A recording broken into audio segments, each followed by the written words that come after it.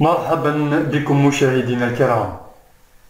رئيس المرصد الوطني للمجتمع المدني عبد الرحمن حمزاوي الذي تكلم عنه بن سديرة قبل أيام والذي اشترط ميزانية ضخمة وعدد كبير من السيارات والموظفين من أجل تسيير مؤسسة المرصد الوطني للمجتمع المدني.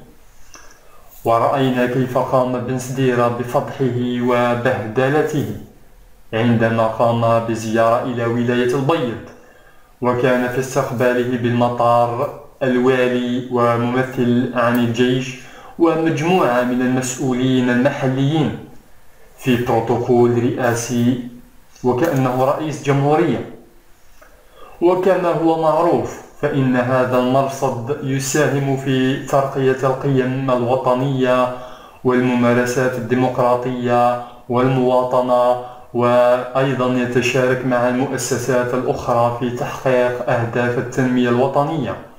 ويقدم آراء وتوصيات واقتراحات بشأن وضعية المجتمع المدني وانشغالاته وآليات تعزيز دوره في الحياة العامة.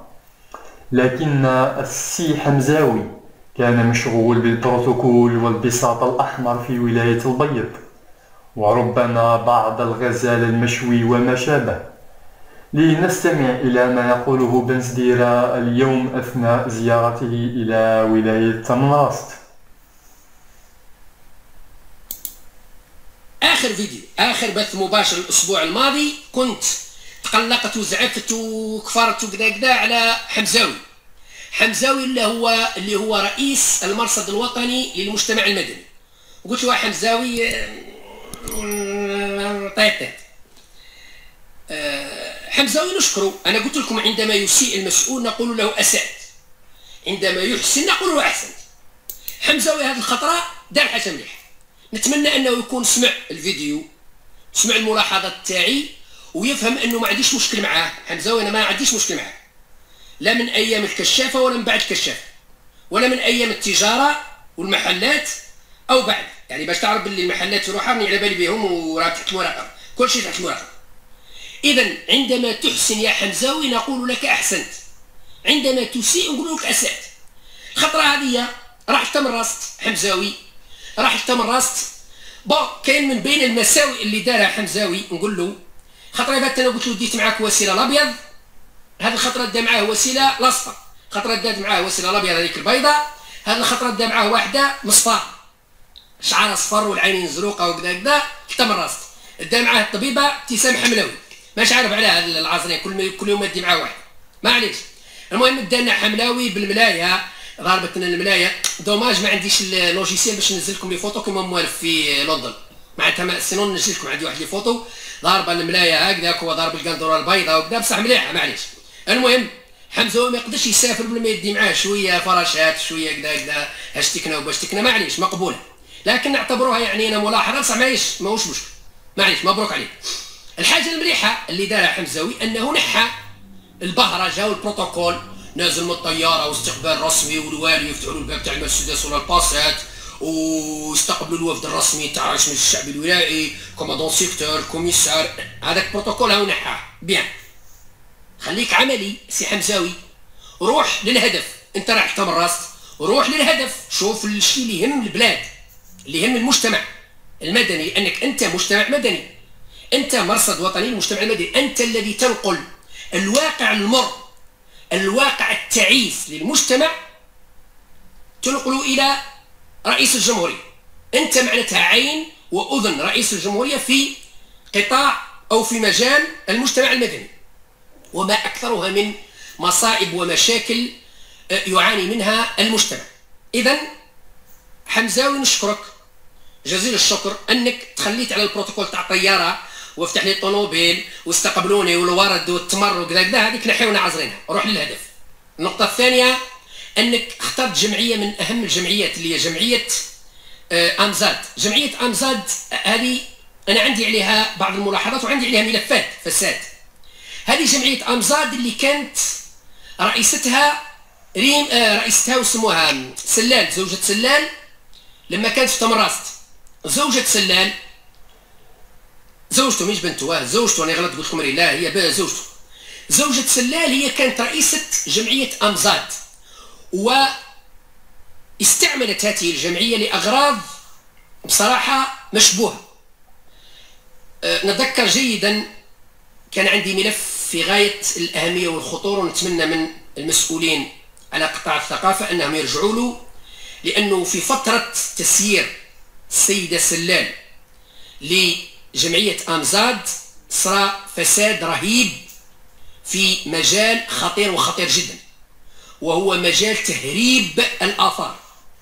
نعم تهريب الآثار كانوا يجوا وفود سياحية ألمانية بالخصوص وإسبانية وفرنسية وبريطانية ودنماركية كانوا يجوا وفود من دول أوروبية كثيرة ينقبون عن الآثار في المنطقة بالتواطؤ مع بعض المسؤولين في حظيرة التاسيلي وتحت مسؤولية وإشراف السيدة سلال زوجة سلال عبد الملك سلال ربي يطلق سراحه من بين المسؤولين للأسف فريدة سلال وي فريدة سلال شكرا. فريدة سلال وي فريدة سلال. آه، من بين الأمور الخطيرة التي آه، بصراحة حدثت تهريب آثار عن طريق تونس والملف موجود. في وزارة الثقافة موجود. والمسؤولين راهم لحد الآن موجودين في وزارة الثقافة. الغريب في الأمر أنه كل من عمل مع فريدة السلال في تمراست في الطاسيلي كلهم تم ترقيتهم إلى مناصب عليا. منهم من أصبح وزير. نعم وزير. بعد ما كان مدير حظيرة الطاسيلي أصبح مدير ثقافة ثم أصبح صبح يعني كما يقول لك الناس مش عارف أنا. قدرة قادر أصبح وزير. منهم من أصبح مسؤول سامي في وزارة السياحة. منهم من أصبح مسؤول سامي في وزارة أخرى يعني كامل. لماذا؟ لأنهم غطوا على فساد فريدة سلام وأنا أعي جيدا ماذا أقول؟ ولدي ملفات. لدي ملفات في هذا الإطار. ملفات فساد رهيب تهريب الآثار. أيام فريدة سلام متواطئين معها بعض المسؤولين من المنطقة تم ترقيتهم إلى مناصب عليا بالصدفة. شكون اللي رقاهم؟ فريدة سلام هي التي سعت إلى ترقية هؤلاء حتى يسكتوا لأنهم باش يسكتوا على فسادها وعلى تهريب الآثار وعلى أمور حدثت أمور خطيرة تم مكافأتهم بمناصب مهمة وزراء ومسؤولين كبار. سأعود للموضوع في الوقت المناسب بإذن الله. إذا نرجع الحمزاوي المرصد الوطني للمجتمع المدني. أنه زيارتكم للجمعية الآن بعد ما خرجت منها فريدة السلان حسب المعلومات فيها سيدة من المنطقة امرأة بسيطة متواضعة هي اللي راهي رئيسة الجمعية.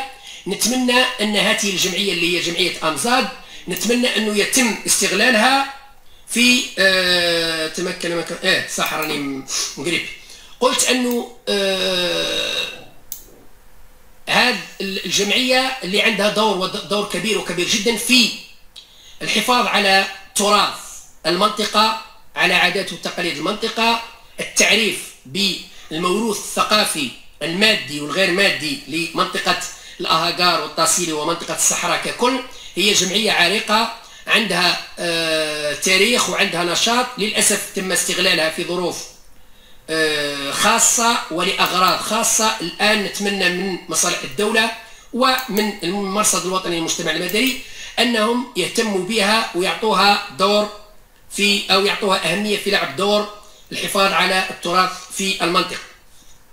نتمنى. إذا كما سمعنا مشاهدينا الكرام ما قاله بن سديرة بخصوص عبد الرحمن حمزاوي رئيس المرصد الوطني للمجتمع المدني وزيارته إلى ولاية تمراست فقد تخلى عن البهرجة والبروتوكول الذي لا جدوى منه.